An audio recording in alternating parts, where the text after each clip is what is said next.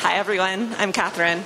Uh, he told you a little bit about me already, um, but this is my second super conference, um, and I'm super excited to be here. So I'm going to tell you all about Sprite Lights, which is LED body art. You can see them on me.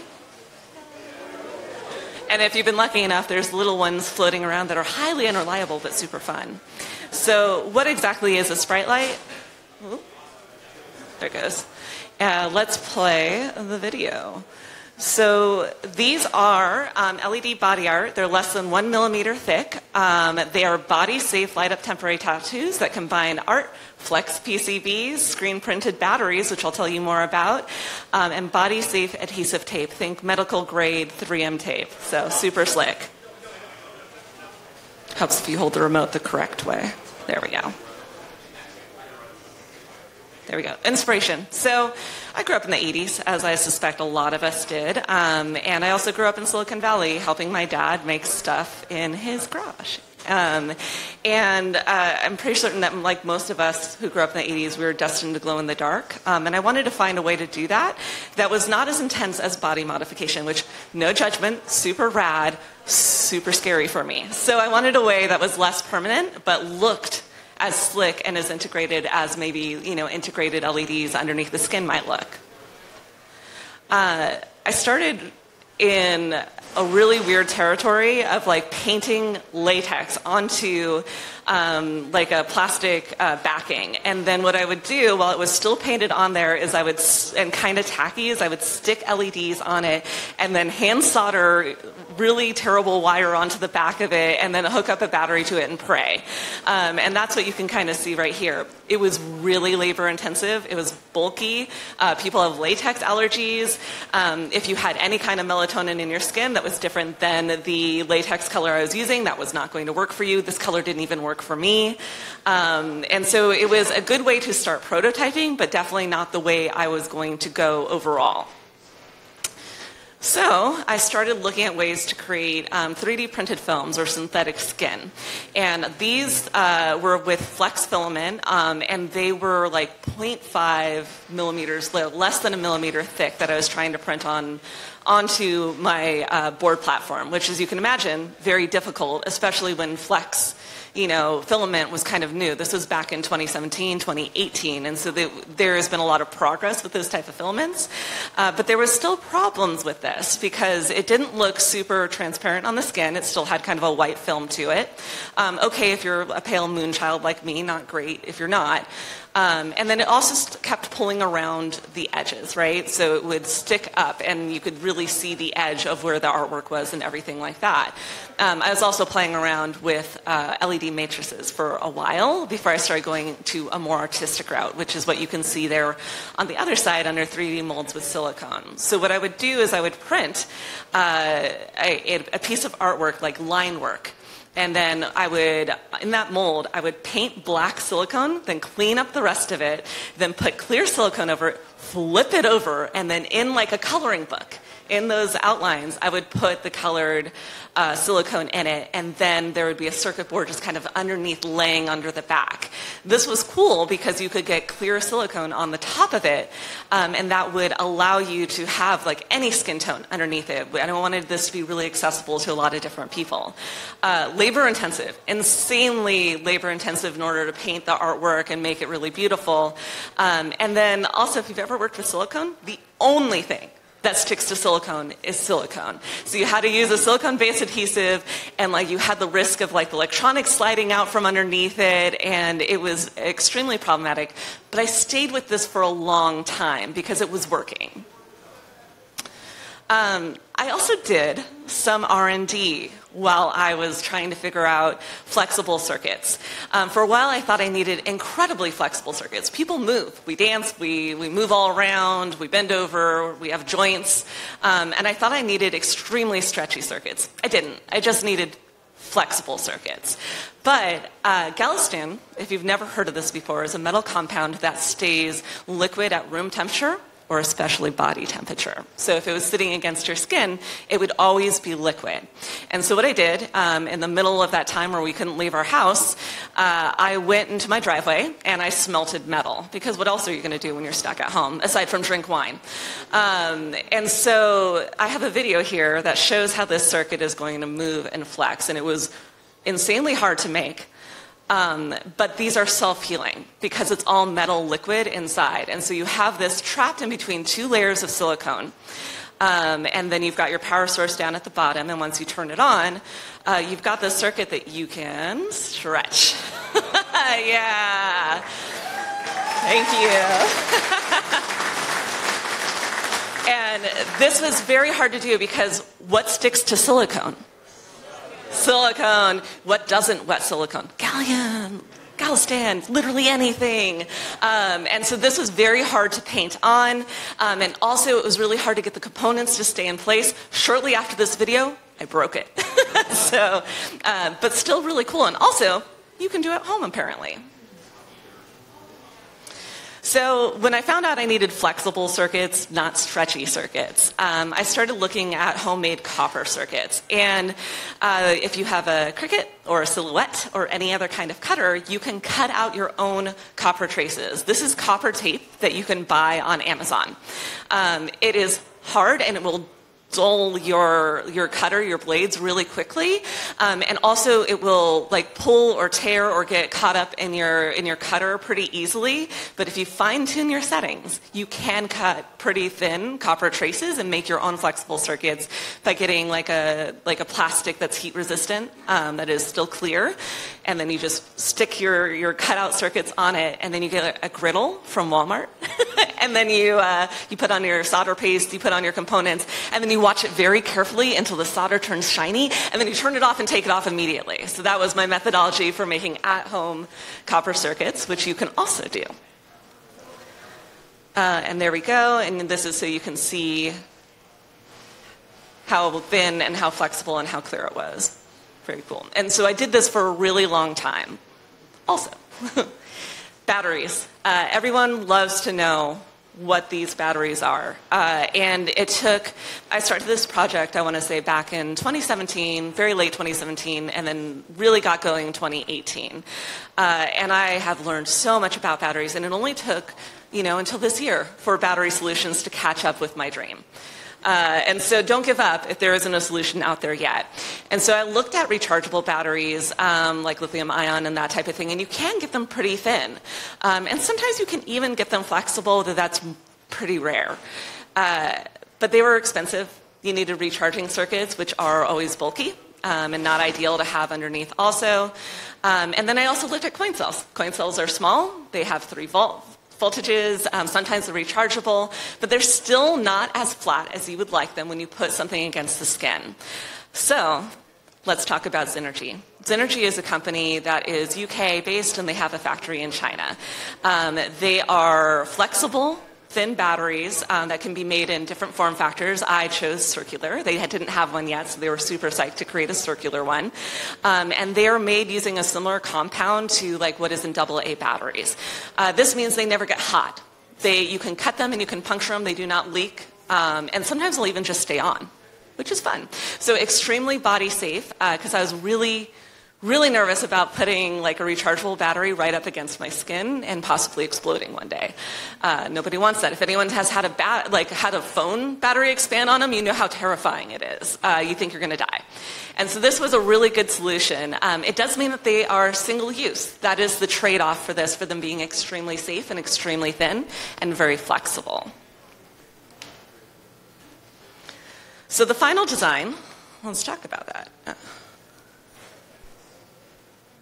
So you have your artwork sticker. Um, that's what you see on me, and that's what you see right there. And so this is any kind of sticker. And I ran a Kickstarter, um, and I partnered with Mates Stickers, who gave me a lovely discount on printing these, which was very nice. Um, the, this is a compass design, and you can see that it has like clear edges around, and then the in the middle is like the white ink and whatnot um, to to make it kind of seamless against the skin. And you could have you know uneven edges, like you could have an octopus and have the tentacles coming out and not have a border around it that is a flexible circuit board um, printed at or created at JLC PCB. I did the design for it, very tiny LEDs, and then I just pointed at the battery, um, which is right there. That was before I had the circular mains. Circle, circle ones made. There we go.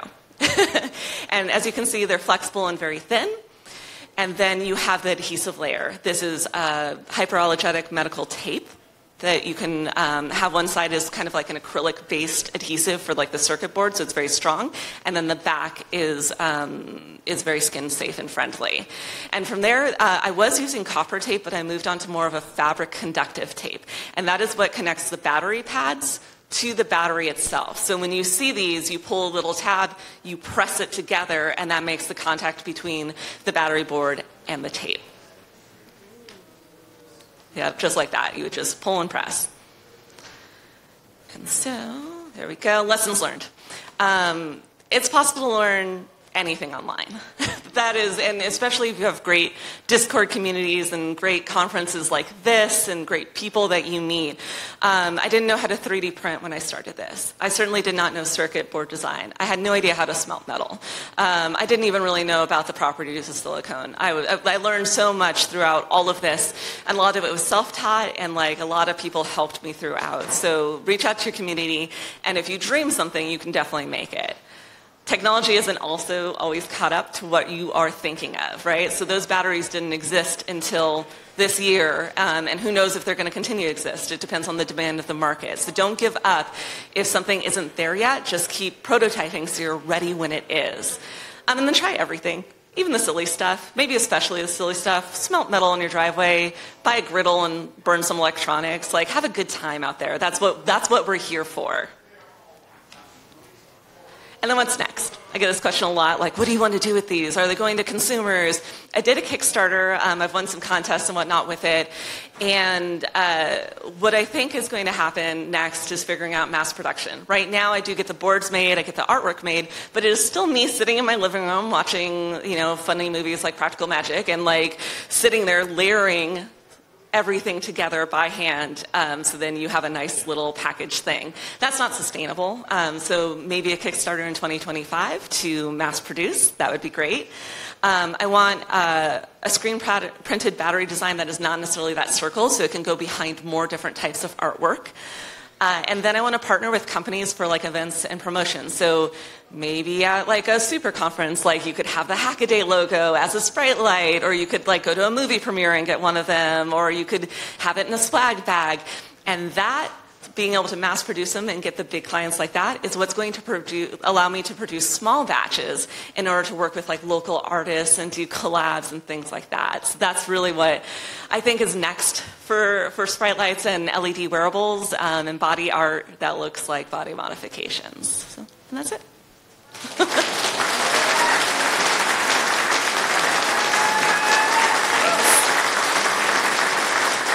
and I think maybe just a couple minutes for questions. Yes. Have you had any limitations come about by trying to do like larger designs? Is there anything different about sort of like these materials when you they cover a larger surface area?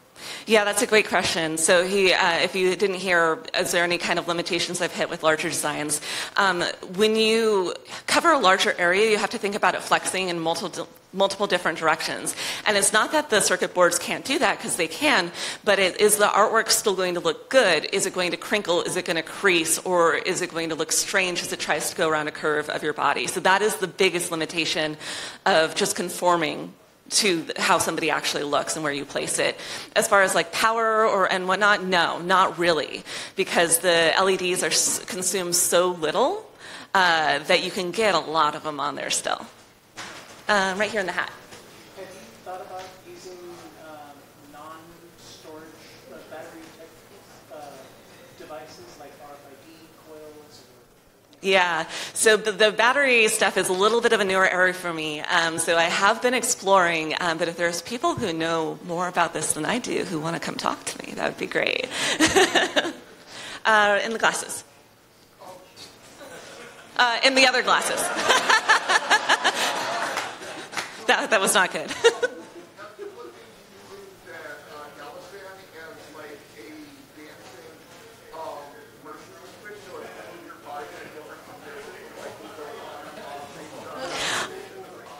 have thought about that. Um, I've thought about a lot of things that that stuff could do, and I've also thought about, in general, um, sprite lights, you know, LED body art, being able to involve different types of sensors, right? Like I've, I've thought about, like, what if it could pulse to music? What if it could do some kind of like health tracking? What if it could do like reactions based on your temperature and stuff like that? So I think both the flexible circuits and the Galinstan, and then also just in general, something like this has a lot of potential for other things, for sure. Um, all the way in the back.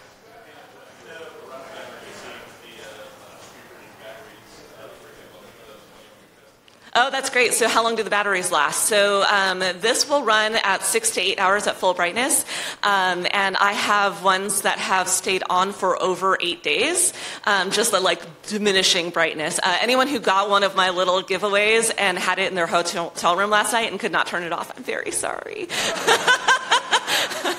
uh, yes.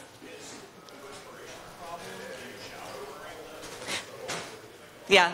So that's a great question. So perspiration, because of the type of tape that I'm using, is a medical grade tape. Um, they have luckily solved that problem for me. So I haven't seen these get sweat off. Um, I do have a, an adhesive that is the same thing that you use for like stick-on bras if you're a lady in this room or know a lady.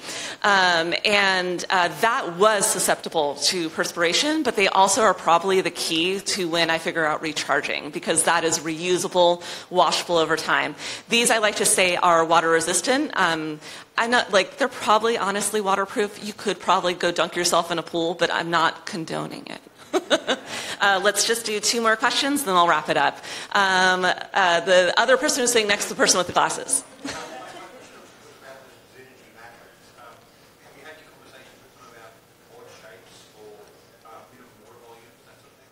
Yeah, so Zinergy I was introduced to after I won on the Tech Fashion Design Challenge. One of the one of the prizes was getting introduced to folks, and so um, they're a newer company and very excited about trying new things. That's why the Circle battery was new for them. Um, but they have talked about how they could do interesting and unique designs that might conform to like different odd shapes for sure. Yep. And then last one, um, I saw the hand all the way in the back with the blue, and I'll be around. So if you wanna, if you wanna talk to me after, it's fine. Yeah, I'll play it one more time, and we'll end on uh, a crazy high. How's that? Um, let's go back. I would love to. Oh, technology, come on. One more. You can do it. Oh, okay. There you go.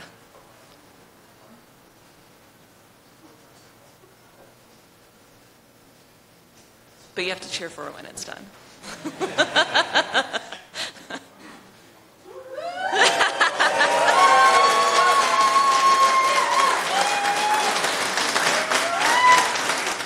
Thanks, everyone.